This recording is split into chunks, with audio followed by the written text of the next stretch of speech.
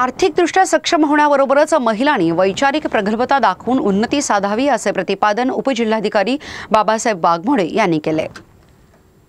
रथसप्तमीनिमित्त कुपवाडमधील प्रभाग आठमधील पुण्यश्लोक राजमाता अहिल्यादेवी होळकर स्मारक येथे महिला मेळावा आणि खेळ पैठणीचा कार्यक्रम उत्साही वातावरणात पार पडला. यावेळी महिलांनी लावणीवर एकच ठेका धरला.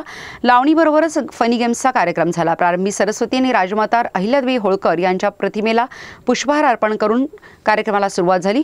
उपजिल्हाधिकारी वाघमोडे यांनी महिला मेळाव्याला मार्गदर्शन केले. यावेळी माजी महापौर संगीता खोत विरोधी पक्षनेते उत्तम साखळकर माजी महापौर नगरसेवक मैनुद्दीन बागवान राष्ट्रवादी काँग्रेसच्या अध्यक्षा विनया पाठक प्रभाग क्रमांक आठचे नगरसेवक विष्णू माने हे उपस्थित होते. या कार्यक्रमाचे निमंत्रक म्हणून अनिता माने यांनी उपस्थित महिला वर्गाचे स्वागत केले.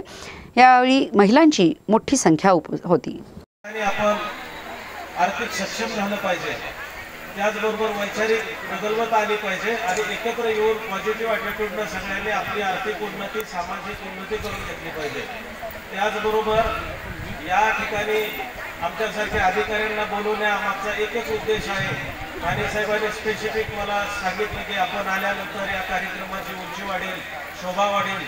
लोक महिलांना ज्या बन- भगिनी आहेत त्यांची काही मुलं मुली असतील करंदीकर मॅडम करतायत जेणेकरून आपल्या भारतीय संस्कृती काय आहे ती महिलांना शिकवतायत. आपला जो भारतीय संस्कृतीचा जो ठेवा आहे तो जतन करतायत.